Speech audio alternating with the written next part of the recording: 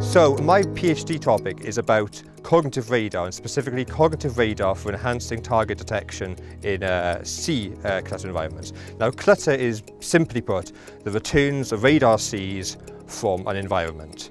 Now sea clutter is particularly tricky due to the fact that it's very variable. One time it can be flat and still and easy to detect a target, another time it can be particularly choppy and stormy and there's no way that you can detect a target in there.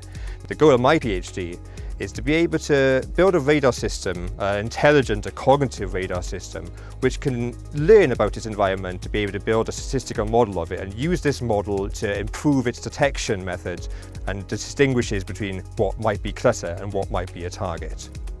So we feel this will be able to allow any ship with a radar system to increase its performance of detecting targets without any extra hardware or mechanical cost by just simply adding another element in the processing chain. So BAE Systems have been a great help through the entirety of this PhD. They've given me training, the ability to use some of their systems to test my ideas, uh, the support and the, the financial aid as well to be able to go to conferences. It's been great and I wouldn't be here without them.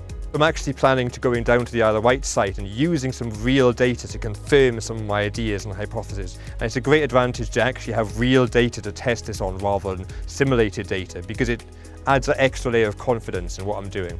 So after all the time I've spent working on this, if this can have a change in the world of maritime and ships and radar in general, it would be absolutely amazing.